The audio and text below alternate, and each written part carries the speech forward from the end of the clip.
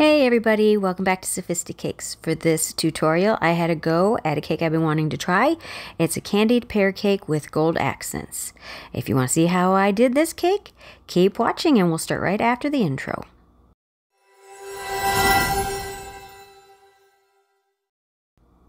So you need to pick some pears that are slightly underripe and have a thicker skin on them and cut them into, slice them into about an eighth of an inch to quarter inch slices. Now you're going to have to waste some of the pears because you want the pear shape. So these first pieces on the sides are not going to actually look real good on the cake. And if you do use those pieces, use those towards the back. Um, I think these were Bosc pears that I got, but just make sure that it's a firmer pear. And to candy these pears, or any other fruit, but for this cake we're doing pears, you start with a simple syrup mixture, which is one part water to one part granulated sugar. And those were the colors that I used. I did a red, an orange, and a yellow. And the first thing you need to do is to boil the simple syrup till the grains of sugar are dissolved. And once that happens, then you can add your color and your pears.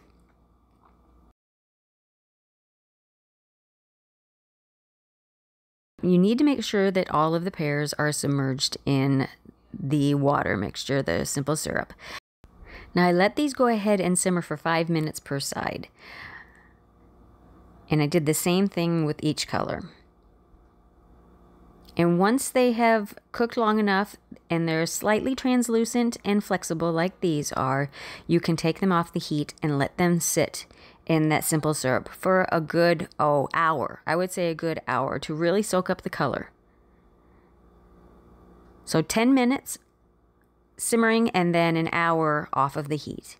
And once they have sat for about an hour, go ahead and transfer them onto parchment paper on a cookie sheet and you're going to want to preheat your oven to 200 to 220 degrees. And once it's preheated, go ahead and put the sheet in the oven and bake them for two hours. I think I did two hours. Just make sure that these are not touching each other on the tray because they're really sticky at this point because they're wet and they just came out of sugar syrup.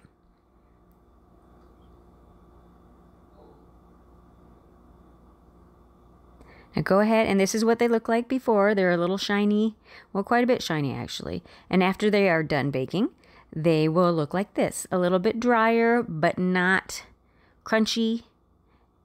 They're still somewhat flexible. And then transfer them onto a wire rack. And what I actually did is I covered them with some saran wrap and left them overnight. I loosely covered them with saran wrap and left them overnight just so that they dried out a little bit more. I think these are so pretty. They remind me of stained glass. Now we need to get our cake prepared. I had three layers of six inch cake, an eight inch expandable cake ring, and my acetate sheets. I need to put this cake ring about a quarter of an inch to a half an inch away from your cake board on the bottom so that you have room for your buttercream around it. Now I use my acetate sheets. I cut it to size so it had a little bit of overlap. And I nestled that inside of the cake ring and secured it with a little piece of tape. Now put a little buttercream on the cake board and put your first layer down to the bottom, making sure that you have even space around that cake. And then I use a piping bag with a smaller hole, about a mm, quarter of an inch hole, cut in the bag with my buttercream. Now this buttercream is a little thin down so that it can try to squeeze it down to the bottom. And I'm trying to sneak it in between the cake and the acetate sheet. Now what I'm trying to accomplish here, actually I should tell you that I filled it in with a little buttercream for your filling and then put the next layer of cake on top of it. Push it down to squeeze out any air bubbles because you cannot put your offset spatula down there to level out that layer of filling. Now just keep doing this all the way up till you get to your top layer, making sure to squeeze or push down that layer each time. And this angle shows you what I'm trying to do. I'm trying to fill it in. And I know that you're not going to get complete coverage in there, but what this is going to do is it's going to give you level sides and potentially make your job a little easier. And I just went ahead and filled in the top Set it in the freezer for 20 minutes, 20 to 30 minutes to get this nice and firm. Now loosen up your cake ring and gently remove your acetate sheet.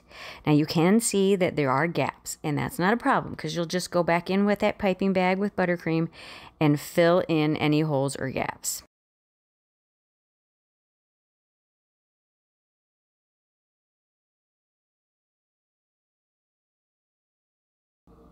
And once you've got those filled in, use your scraper to level it out and remove the excess.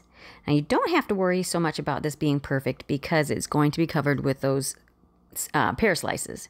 And I just used my X-Acto knife and removed that outside ring from the top. Since it's firm from the freezer, you can just cut it off and remove it.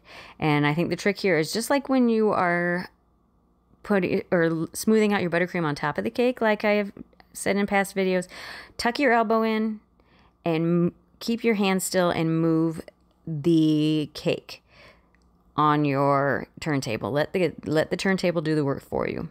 I'm just going ahead and leveling everything out and smoothing out that top. I did another layer of buttercream on the top after that, and I'm using my spatula to create a texture on the top, a swirl texture. Start in the middle and move your way out. Put it back in the freezer for another 10 minutes to make sure that it's firm. Now these pieces of pear I am attaching, I actually used a little buttercream behind each one. And I am laying them one on top of the other all the way around. and I wanted them raised up above the lip of or the top of the cake a little bit just for a little dramatic effect.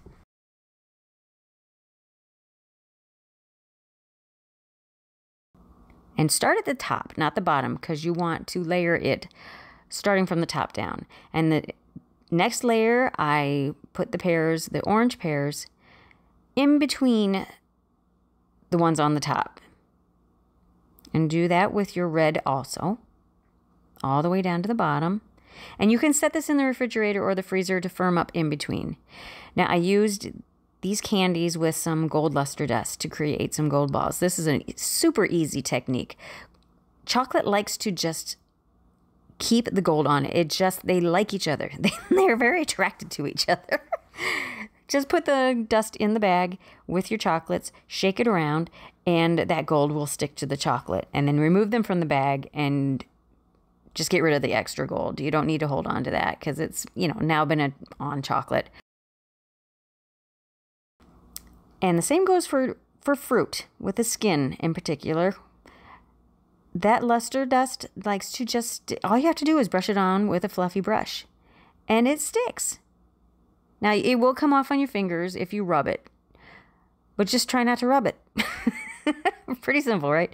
And for the bottom, I used my extra pears and I cut them in half so that you wouldn't have the bottom layer overlapping the one on top of it too much. You want to kind of keep it even all the way down. And I just use a little buttercream behind these chocolate balls and put those in between. And use a little dollop of buttercream on the top to get your pear to stick and to stay in place.